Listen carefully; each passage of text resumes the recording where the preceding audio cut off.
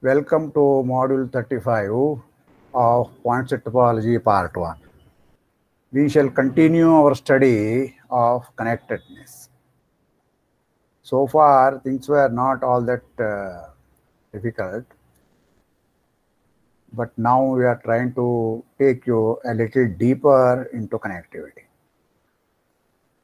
Here is a result that can be used to prove connectivity of a big class of interesting spaces. So let us formally make a definition here. Once again, this is for namesake only. Take any set theoretic function f from x to y. For every y inside y, look at all points which are coming to y, all points of x which coming to y, namely f inverse of y. That will be called the fiber of f over y. What are the fibers of f? They are all inverse images of some point in y.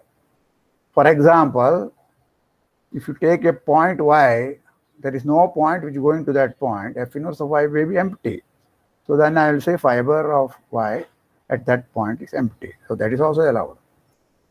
Okay, it's purely theoretic notion. There is no other condition on F.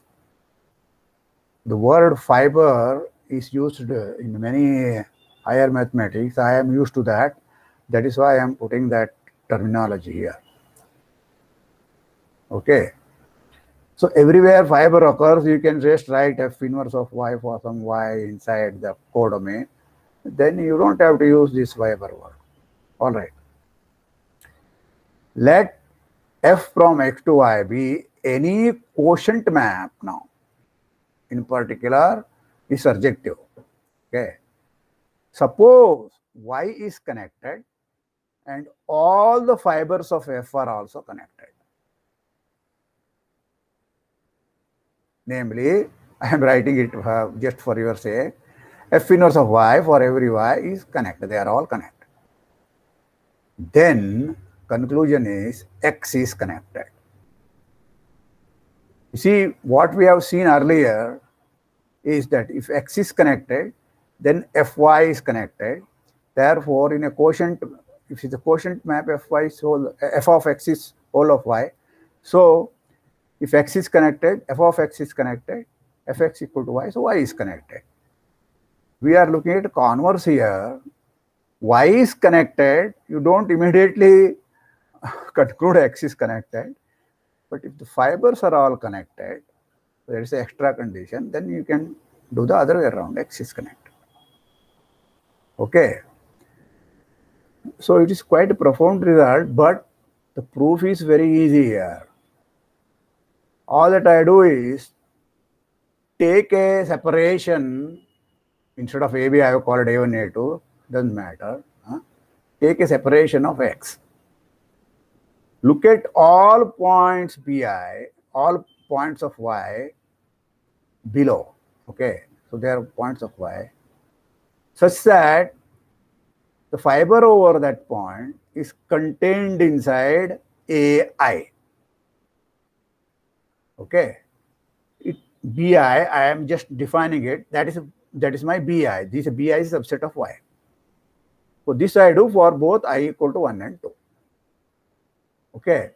As such, you know, BIs could be empty, they could be anything, right? But here I am using two things, namely F is surjective, and then it's actually a quotient map, and the fibers are all connected. So together, these things will imply, first of all, all these BIs are non-empty. B1 union B2 is the whole space X. That is comes that comes from the surjectivity. And sorry, before that, each F inverse of each point, namely the F fiber, being connected must be inside A1 or in A2. Therefore, A1 union A2 will be the whole of X. Okay. What we claim is this, this B1, B2, B1, B2 union is the whole of X, right? Because each F inverse of Y is contained in either A1 and A2. The union of all F inverse of Y is the whole of X. Therefore, Y will be union of B1 and U2. Okay. What we want to show is this is, now we started with Y as a connected space. This is a partition. This is a separation. That will be a contradiction. If A1 is non-empty, f of A1 will come to something, it must be either B1 or B2, it has to be inside B1. Similarly, f of a point in A2 will have to be inside B2. So B1 and B2 are non-empty. Okay. Now, why B1 is closed? B1 inverse, F inverse of B1, sorry, F inverse of B1 is nothing but the entire of A1. And to begin with, we start A1 and A2 are closed subsets. Inverse image of a close of a set is closed implies the corresponding set is closed in the quotient topology, in this quotient map. Therefore, both B1 and B2 are closed. Clearly, a fiber cannot be both B1 and B2. It has to be in one of them, right? So B1 intersection B2 has to be empty. So all this show that B1, B2 is a separation for Y and that's a contradiction. Why the contradiction? Because we started with a wrong assumption that X has a separation. Okay. As an immediate corollary, we get a big theorem here. Take any finitely many connected spaces and then take their product that is connected. How do we uh, do this? Do it for two at a time. Then by induction, it will follow for any finite product, right? For two at a time, how do you do? Look at x connected, y connected, look at x cross y to y, the projection map. Or you can take x cross y to x also, no problem. That projection map is an open map. Any open surjective map is a quotient map. So you can apply the previous theorem to this quotient map. Y is connected. What are the fibers of Y? fix a y, all points x comma y coming to y nothing but x cross singleton y, which are all homeomorphic to x. Therefore, each fiber is connected because I start with the assumption that both x and y are connected. So theorem says that the product is connected. Once you have proved it for 2, by induction, it will be true for all finitely many products. the above theorem together with this corollary. It's an easy corollary. Okay. Sometimes you have to directly use corollary. Sometimes you may have to go back to the original theorem. That will be very useful in proving connectivity of a large number of topological spaces. So that is what we will we will do now namely what are called as the general linear groups, the orthogonal groups, the unitary groups, and so on. They are all inside n cross n matrices. So let us uh, make a formal introduction to these uh, these things, which are very uh, important in mathematics, in the, in the central mathematics. Look at of course, my K is any field you be to begin with, but finally when you talk about topology and so on, I am taking K as either real numbers or complex numbers. Okay, remember that.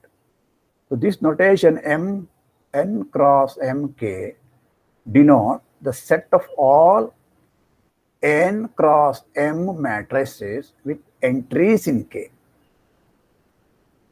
Clearly, under entry-wise addition and multiplication, it is a vector space of dimension nm over k. This is part of your linear algebra. Therefore, by choosing an appropriate and convenient basis, we can identify this vector space with k power nm, the Cartesian coordinate space, because the dimension is nm. Okay, there are many different ways of doing it. For example, you may write the rows of A, A as, see, there are n rows and m columns. Okay, so each m row, n row, m, uh, uh, the one single row is a vector inside C power m, k power m. Write it, the next row into the, you know, on the side of, the, on the right of that and so on, instead of writing the below. So write them side by side so that it will look like a nm ordered tuple. For example, if you have 2 by 2, then you will get a, a 4 vector. Okay, a 2 vector followed by 2 vector, you get a 4 vector and so on. So that will give you a, identification of this vector space with k power nm. Okay, it just uh, depends upon which way you want to write. Any of them will be as good as any other one. So you better choose according to your convenience. That's why convenient and appropriate. Appropriate to the context. But you should keep in mind that your original space has a matrix structure for many other purposes. So in order to rely, in order to remind you that instead of writing kmn here, knm here, nm, mn, once you write 5 into 3 as 15, it is lost. 5 and 15 could be 1 into 15 also. So you write it as n cross m. So this is just a reminder that it is an uh, n cross m matrix. Okay, this notation is used. It's a very clever notation. It's not mine. It is there in the literature. Instead of kmn, you write kmn. The, as a as a Euclidean space, they will be both same. As a vector space, they are the same. Okay, as matrices, this will be different than k1 cross nm or nm cross 1 and many other possibilities. Various subsets of MNK are of interest in higher mathematics. Now, if this notation M N K stands for n cross n, okay. So instead of writing two of them, I am just writing n. That means they are square matrices. Here are a few of them. I am giving you definition of that. Look at all square matrices of size n such that the determinant is not equal to 0. It's the same thing as all those which are invertible. The SON is inside now Rn. Okay, Rn cross Rn cross Rn and so on, Rn cross n, n cross n matrices with real entries such that A, A transpose is identity and determinant of A is 1. If you don't put this condition, determinant of A, then this is called ON, orthogonal group. So this is a special orthogonal group. Okay? UN is all those complex n cross n matrices such that A A star is identity. Okay, here also you can have another one SUN wherein you put one extra condition, determinant of A equal to 1 here. Okay, I am trying to give you only a few of them here, but I just told you two more also here. Note that the first one, GLNK, is an open subset of K and cross n or all the matrices. Why? It's given by determinant of A not equal to 0, which just means that inverse image of the function determinant, which is a polynomial function. Okay, so therefore, all those points which are, you know, determinant is a function into k, right? k is either c or r.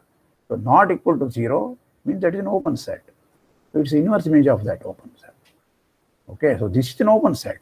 Whereas for similar reasons, SON, this is an equation. That is an equation. It's not an equa inequation. Okay, SON and UN, they are closed subsets of MN, MNKs, either C or R.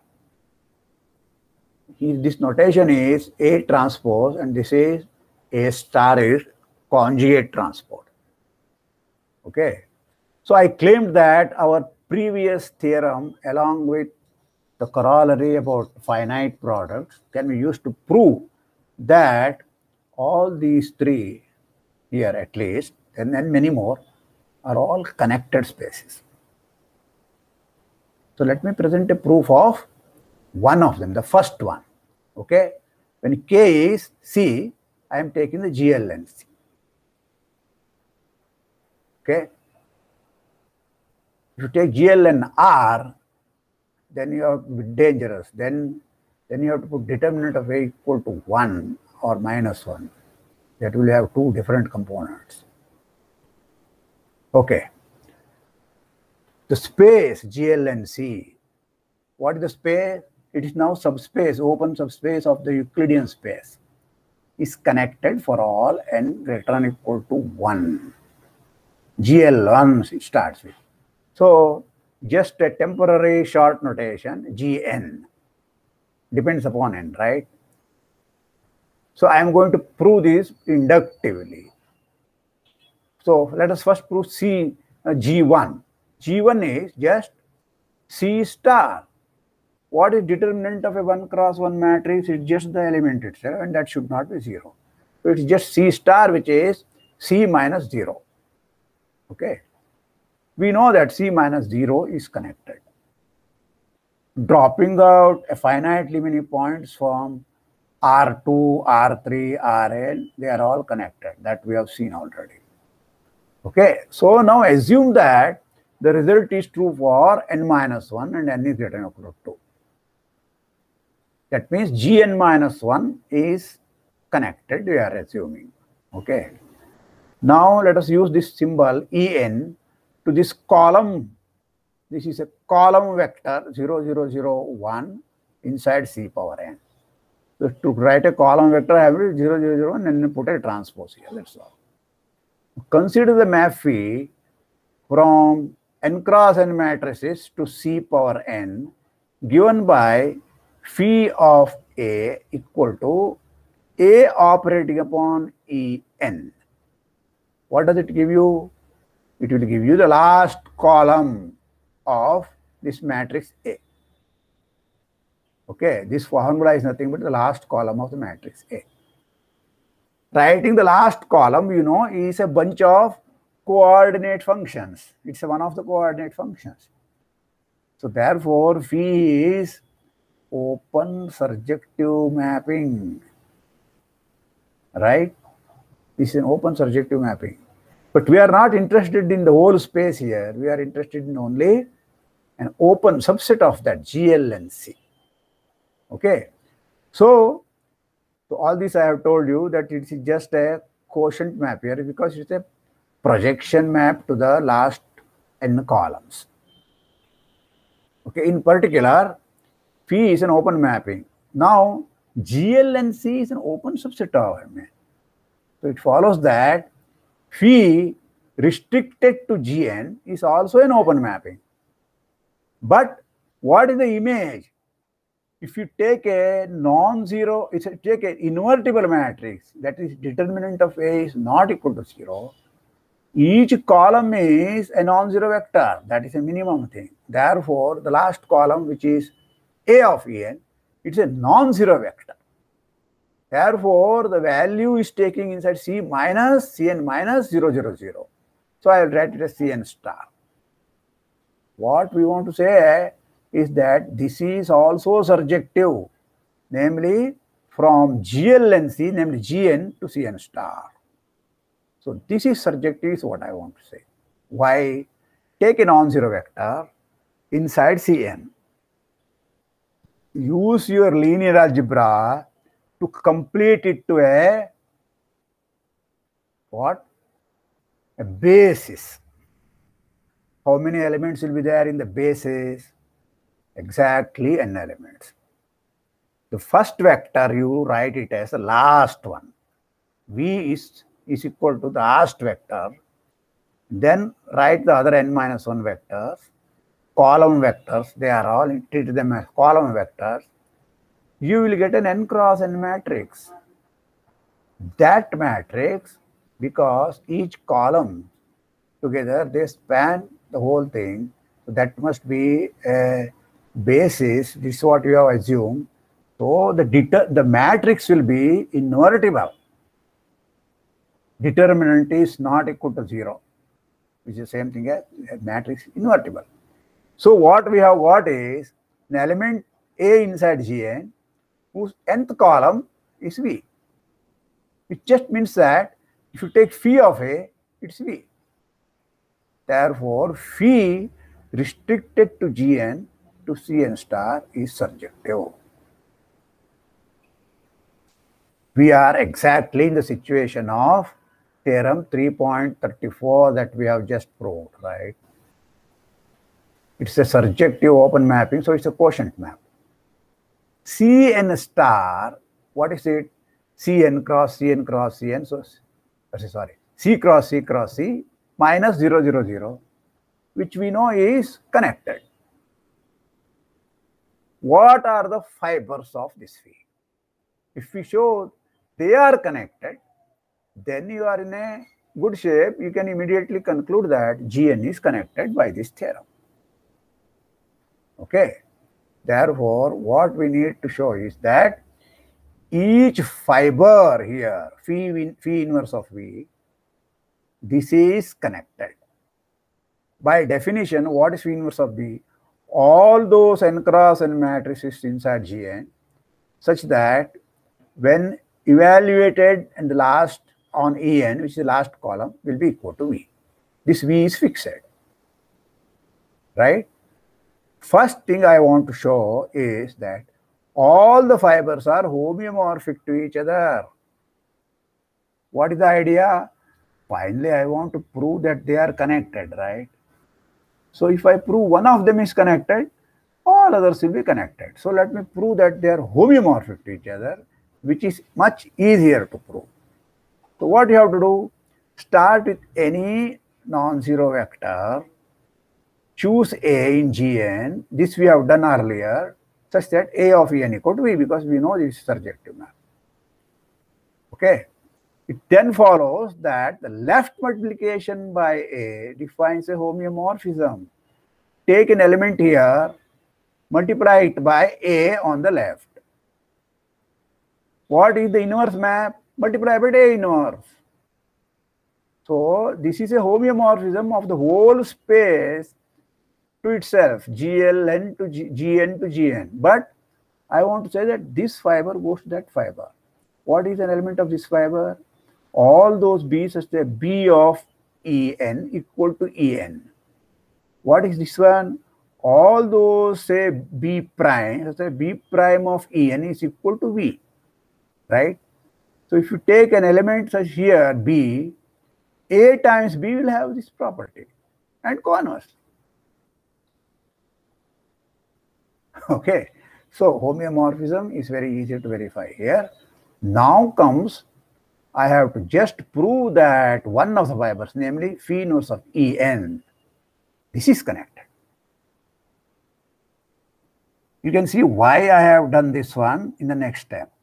Why the choice of En is, is done here. Namely, this allows us to apply the induction the induction hypothesis. Okay. So the claim is that phi inverse of En is is connected. So, but what is it? This, I am just repeating it here. What is it? All those B in Gn, B of En is En. This is the definition. I want to say that this thing is homeomorphic to Gn minus 1 cross Cn minus 1. Suppose I have proved this one, then the theorem is over. Okay, this was only thing that was needed. Once one fiber is uh, connected, all the fibers are connected. So I can apply the previous theorem to conclude that Gn is connected.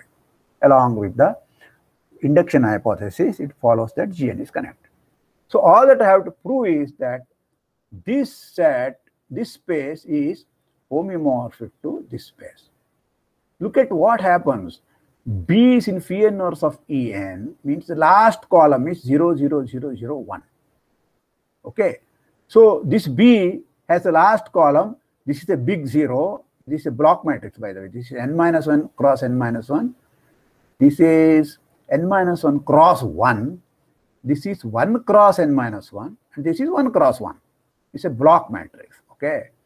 So this whole column is just 0, 0, 0, 1. That is the meaning of that it is En. Right? This is some block B1, which is an n minus 1 cross n minus 1 matrix. And this is another just row here. U1, U2, U1, U1 maybe some Z1, Z2, Zn, whatever. Zn minus 1. Okay.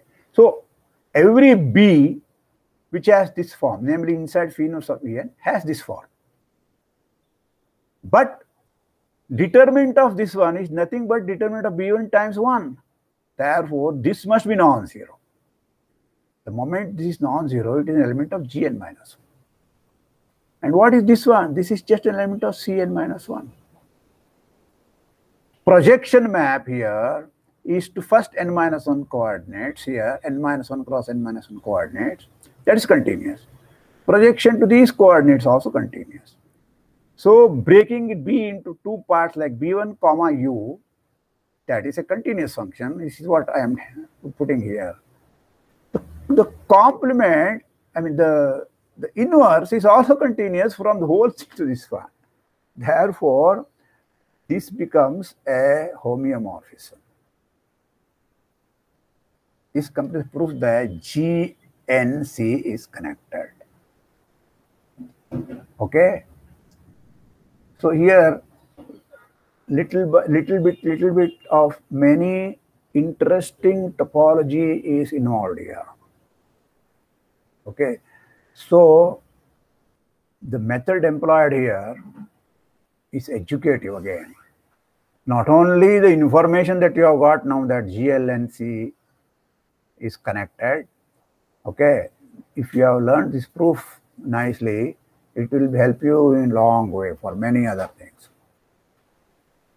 Now I'll be go to another important thing here. Okay, this time I may take a little more time. The topologist's sine curve. Remember, I wanted you to, I want to, uh, I promise that I will show you why the closure of a path connected set may not be path connected. That's what we are coming to here. This example will serve that purpose, but pay attention to this example because it will serve as a many, many counterexamples for us. Okay?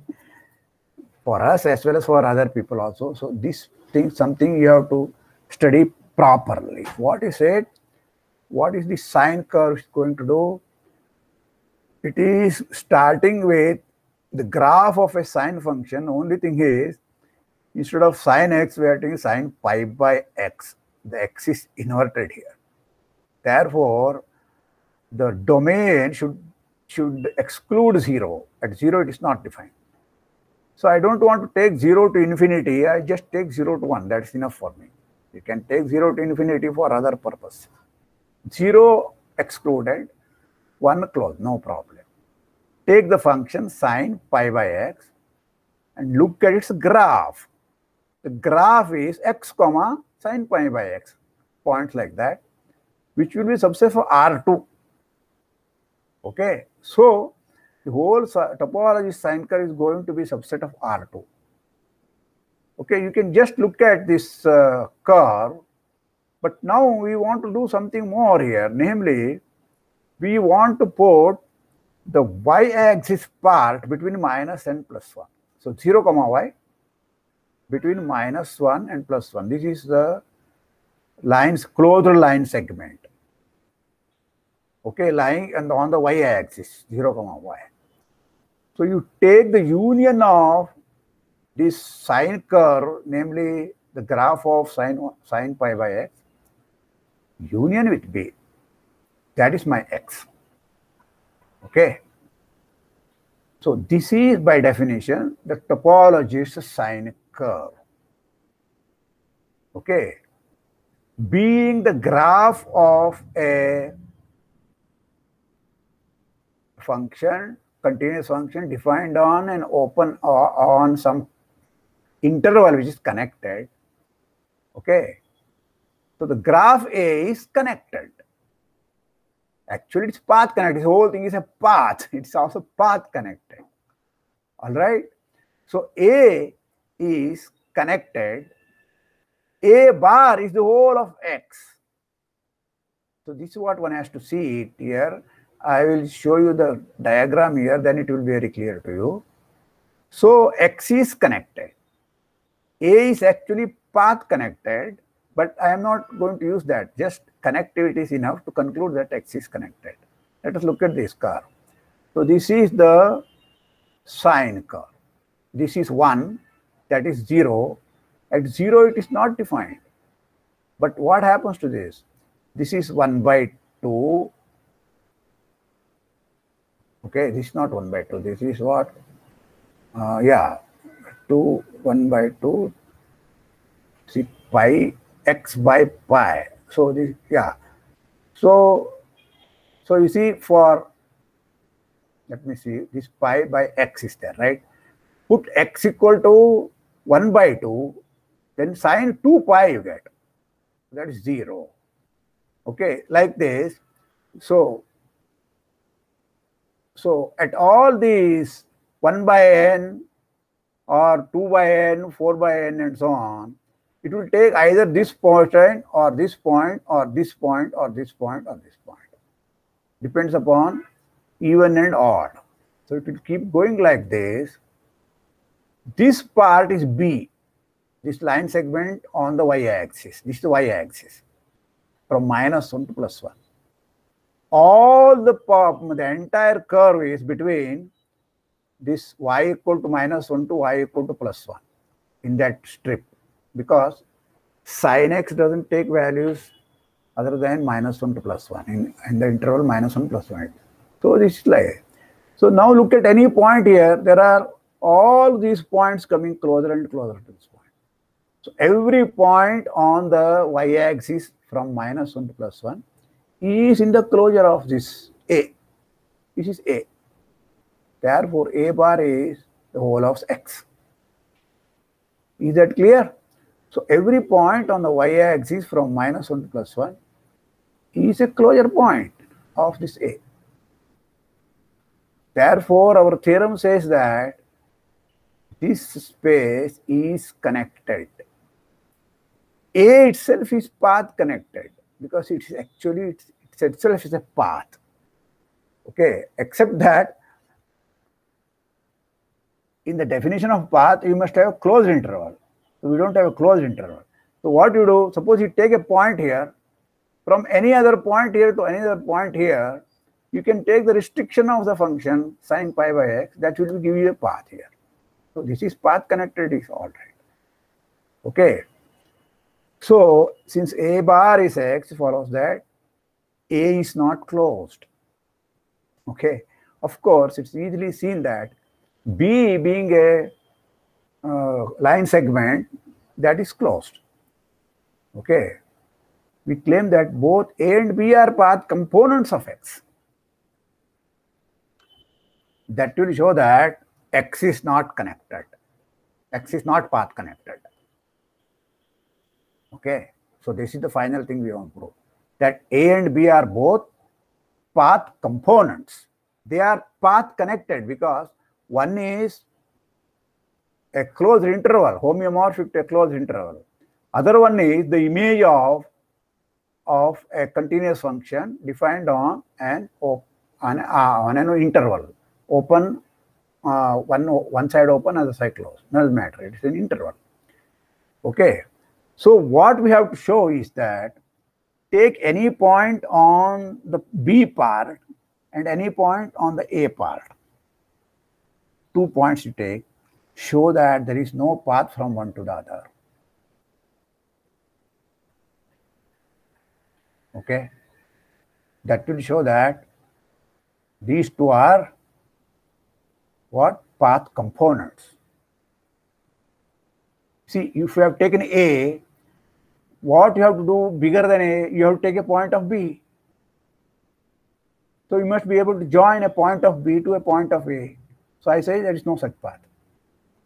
Okay. So if I prove this, what the claim that A and B are path components follows. Therefore, X is not path connected, exactly two path components. Suppose you have a path. Path means now what? some continuous function defined on a closed interval. I can change the closed interval to any 0, 1. There is no problem. Okay, by a reparameterization. So you can assume that there is a path from uh, 0, 1 to x such that omega 0 is inside B and omega 1 is inside A. Okay. So remember X is subspace of R, R2. Okay. Look at the projection map R2 to R, the X axis, X, you know, X projection, first projection, XY going to X. Then pi composite omega 0, this is what? This is the X coordinate of omega 0. Omega 0 is inside B. So the X coordinate will be 0 because the whole of B is just 0 cross minus 1 plus 1. Okay. So omega pi of omega 0 is 0. Pi of omega 1 will be something on the x-axis between open interval 0 to 1. So it is positive.